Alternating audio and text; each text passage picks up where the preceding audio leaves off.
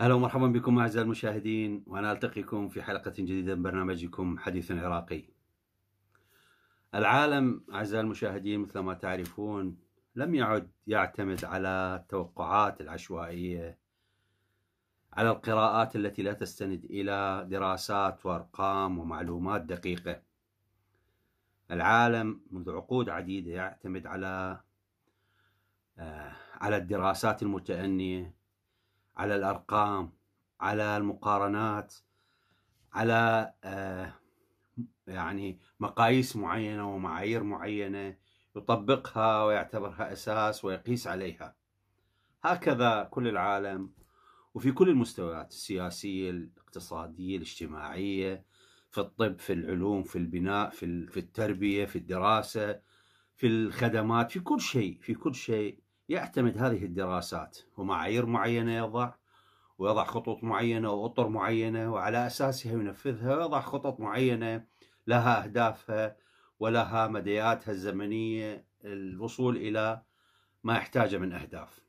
أو ما يخطط له من وصول من من أهداف يجب أن يصل إليها. وهكذا. لذلك العالم يعني يعتمد على إحصاءات مضبوطة وهذه الإحصاءات ضمن معايير معينة تصنف وتوضع لكل لكل معيار درجة معينة وبالتالي يحسبون الدرجات ويضعون آه، يعني هذه الإحصاءات في يعني في في في في زواياها الحقيقية في في أماكنها الحقيقية بالذات. في يوم تسعة وأنا يعني أتحدث عن هذا الموضوع آه، قرأت يوم تسعة صدر يوم 9 تشرين أول 2023 9 10 يعني هذا الشهر صدرت إحصائية تتحدث عن يعني آخر إحصائية تتحدث عن أسوأ مدن في العالم يمكن يعني العيش فيها أسوأ مدن في العالم لا يمكن العيش فيها. هكذا هكذا العنوان مالها بالضبط عندما تترجمه. واختاروا عواصم يعني أعتقد 120 عاصمة كانت. كل مدن الدنيا كل عواصم الدنيا كل كل دول الدنيا اختاروا عاصمها وضمن معايير معينة حددوا هذه المعايير. الاختيار من هي المدينة الأسوأ من حيث جودة الهواء والتلوث؟ ربما لم يفاجئني أنا. ربما لا يفاجئ الكثيرين. ومع الأسف الشديد أن تكون بغداد هي المدينة رقم واحد الأسوأ في العالم من حيث جودة الهواء والتلوث مع الأسف الشديد. يعني من بين 120 عاصمة بغداد هي رقم واحد كأسوأ مدينة في جودة الهواء والتلوث. بعدها لاهور ودكة وكلكتة وكوالالمبور وجاكرتا وكراتشي ومدن كثيرة في آسيا في في الهند في باكستان. يعني لكن لكن أن تكون بغداد هذه المدينة الجميلة أجمل مدن الدنيا. هذه المدينة الوادعة الرائعة اللي يخترقها نهر دجلة وتنقسم إلى قسمين رصافة وكرخ. بيوتها الجميلة وشوارعها الجميلة كانت وجسورها الرائعة. ونهر دجلة هذا الجميل. وناسها اللي أروع ما فيها. وحدائقها ومساحاتها الخضراء. تتنفس فيها هواء طيبا. الآن هي أسوأ مدينة.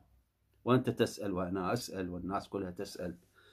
ما الذي حول أجمل مدن الدنيا إلى مدينة ومع الأسف الشديد أقولها مدينة مسخ مشوهة قبيحة إلى هذه الدرجة.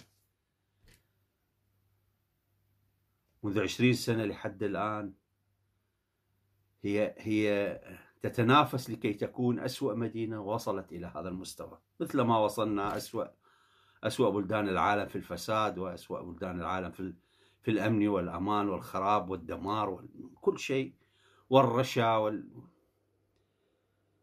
وصلنا أسوأ مدينة في الدنيا من حيث جودة الهواء والتلوث. الحقيقة شيء مؤلم جدا جدا. أنت تحول بغداد بهذا الشكل وأنت ومثل ما قلنا أنت تسأل وأنا أسأل والناس تسأل ما الذي حولها إلى هكذا شيء؟ بداية يجب القول أو يجب أن نقول حقيقة ثابتة ومعروفة أن كل المدن عندما تبنى في كل الدنيا يضعون في حساباتهم آه، مساحتها امتداداتها الامتدادات القصوى لها والامتدادات الأدنى لها. وعدد السكان كم عدد السكان الأمثل لها وكم ممكن أن تتحمل من زيادة وخلص. بغداد عندما بنيت ووجدت بهذا الشكل في عصرنا الحديث نتحدث. صممت على أساس أن تتسع إلى مليون ونص إلى ثلاث ملايين مواطن.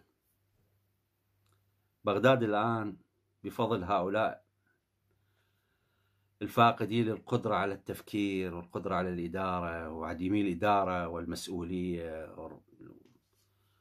والذين لا يهتمون لا ببغداد ولا بغير بغداد وفقدوا العراق كله بشكله وهويته واستقلاله وسيادته. بفضل هؤلاء صارت بغداد الآن فيها 12 مليون مواطن. أكثر من 12 مليون ربما.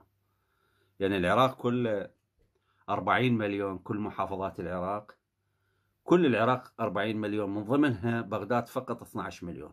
كارثة كبيرة. المدينة عندما تصمم لمليونين ونص إلى ثلاث ملايين البنى التحتية لها من خدمات من كهرباء وماء ومجاري ومياه ثقيلة وكل شيء وطرق وحدائق ومساحات خضراء وبساتين وكل شيء. هذا هذا كله مصمم لكي يخدم مليونين ونص ثلاث ملايين. أما أن تجيب 12 مليون في مدينة مثل بغداد تحولها إلى مدينة عشوائية. الآن فقط الذي يسكنون في المد... في المناطق العشوائية أكثر من 4 ملايين مواطن مع الأسف الشديد. والهجرة مستمرة لأنه آه يعني الأراضي الزراعية انتهت الزراعة انتهت وجفاف فيضطرون وبسبب البطالة العالية يضطرون الكثير من الناس إلى الهجرة إلى المدن يبحثون عن مدينة فيها سوق فيها حركة آه، يعني فيها فيها قدرة مادية على الشراء والبيع فلا يجدون غير بغداد فيتجهون إلى بغداد. يعني فقط فيها لحد الآن الأمم المتحدة آه، تحصي خلال هال كم شهر أكثر من 140 ألف عائلة انتقلت إلى بغداد. وهاي ال 140 ألف عائلة من الجنوب كل عائلة بها أقل شيء خمسة إلى ستة أفراد. وقس على ذلك والأعداد هكذا تزداد وكلها مناطق عشوائية.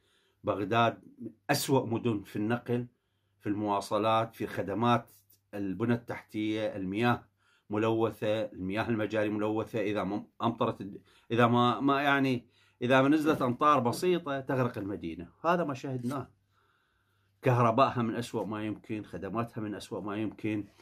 المناطق الخضراء اللي بيها اللي كانت تتنفس من خلالها كلها تحولت إلى بفضل الفساد. الأراضي استولوا عليها متنفذين وحولوها إلى أراضي سكنية وباعوها أو بنوا عليها مجمعات سكنية لا تناسب العراقيين لكن لغرض تبييض الأموال ولغت المناطق الخضراء من بغداد وما عادت في بغداد رئة يتنفس فيها أهل بغداد.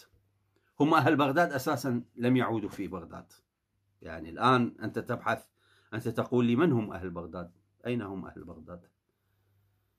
يعني وين أهل بغداد الأحياء القديمة في الكرخ وفي الرصافة؟ وين؟ وينهم؟ أين أصبحوا؟ الشكل تغير المفهوم تغير المدينة تغيرت تشوهت صورتها تحولت إلى شيء لا تعرفه مسخ غريبة عجيبة. الحقيقة تحولت إلى إلى أشبه بمقبرة مثل ما تحولت كل مدن العراق إلى مقابر.